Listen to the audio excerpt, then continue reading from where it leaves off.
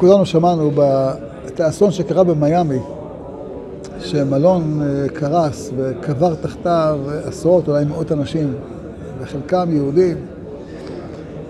אה, יכול להיות שיש מישהו מאיתנו שלא כואב את זה כמו האסון במירון.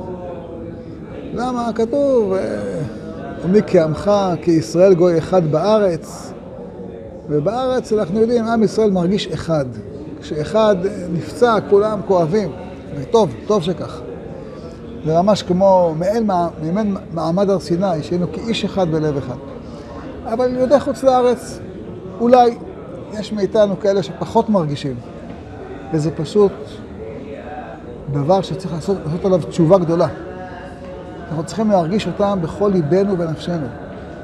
כשלנו יש צרה פה בארץ ישראל, הם עוזרים לנו. אני לא יודע אם אנשים יודעים כמה מאות מיליונים, הרבה יותר אני חושב, של צדקות ותרומות נתנו יהודי ארה"ב כאן בארץ ישראל, גם בשביל הצבא, גם בשביל אה, מוסדות תורה, מאז, לא מקום המדינה, עוד לפני קום המדינה, להתיישבות, לחזק את ההתיישבות, למה לא? כל דבר, כל דבר, להקים את האוניברסיטאות, הכל, הכל, הם, לכל דבר הם תורמים. ממש, הם מרגישים איתנו אחד. עכשיו שהם בצרה, אנחנו צריכים להתפלל עליהם בכל ליבנו ונפשנו. הקדוש ברוך הוא יעשה להם טוב, יעשה להם ברכה, ויביא להם שמחה.